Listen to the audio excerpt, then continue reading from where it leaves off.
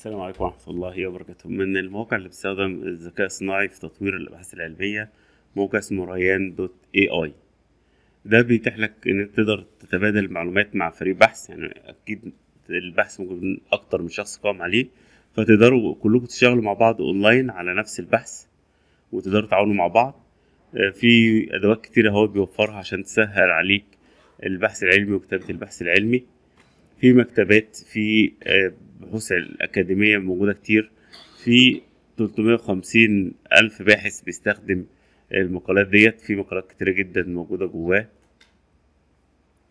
بيديك أدوات تسهل عليك كتابة الأبحاث. وكتابة المراجع والاقتباسات.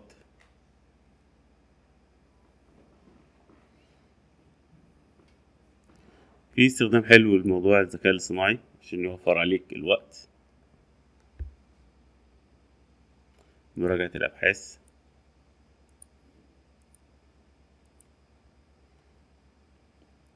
ممكن تبقى free أو في نسخة professional فيها إمكانيات أكتر. تقدر تجربها 14 يوم ب 8 دولار في الشهر.